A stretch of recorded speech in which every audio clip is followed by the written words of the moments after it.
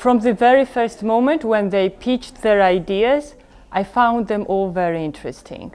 And in some cases, I just fall in love with, with the characters they were working with. So I always believed in this project.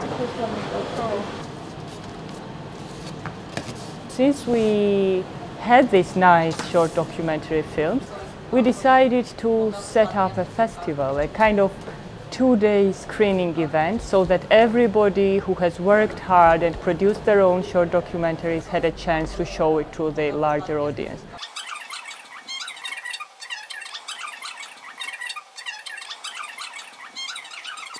Well, it reminds me more than 20 years, to be honest with you. It reminds me back in the beginning of my career when I would go out and I would and I would try to, to shoot projects and, and, and make films and, and really it is a, a learning process that you can really only fully learn by doing.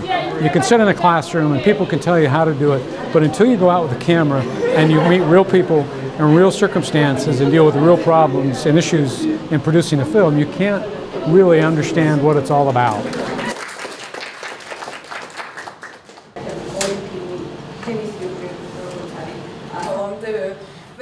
While you are working as a journalist, you are using the different skills. You are always firm and you always ask the questions you are interested in. But while making documentary, uh, you should be more careful not to frighten your hero, make her uh, cover herself and don't show the person she is, uh, uh, and so on.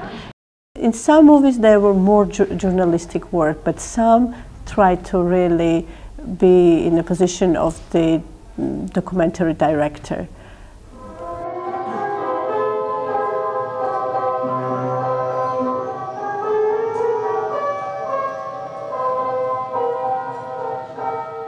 Ice Cream Salad.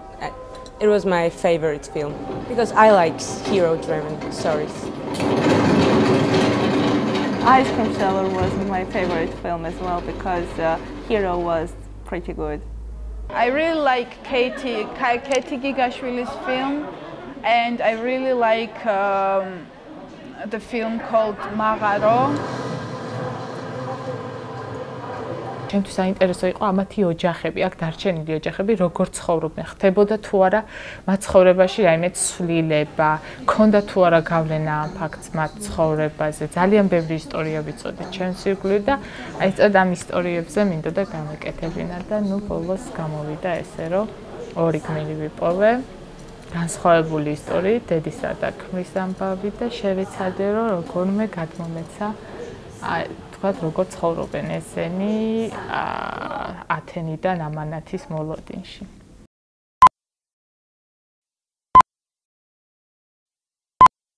Well, the festival has been very successful. It's been well attended, and most importantly, you know, each of the eight documentaries was good in its own way. It was good in its own right.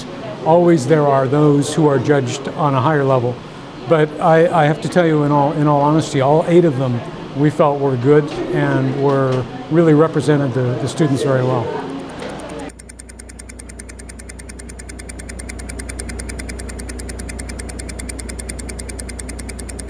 It was hard for us to choose the winner and also only three movies to be screened tonight. So we had a, quite a discussion with the jury members and it was not easy to pick up only one movie.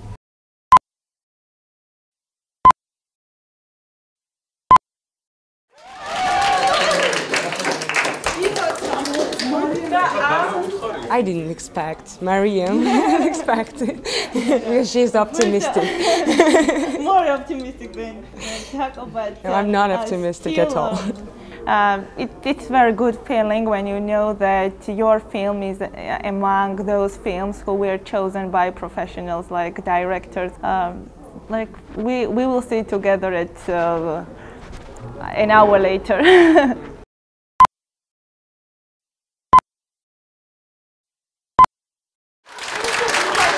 Be honest, I didn't expect it that um, the winner is Katie Gigashvili.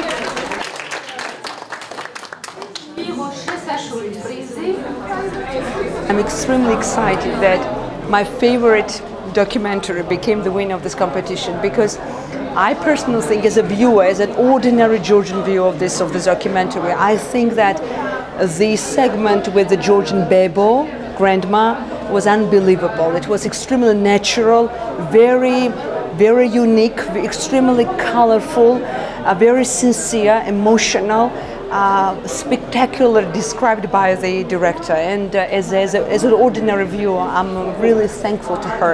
And good luck, Katie. Congratulations. You did an excellent job. Good luck. Keep, keep doing that. მედიას ხელი და გილოცავ და ეს იყო დასაწყისი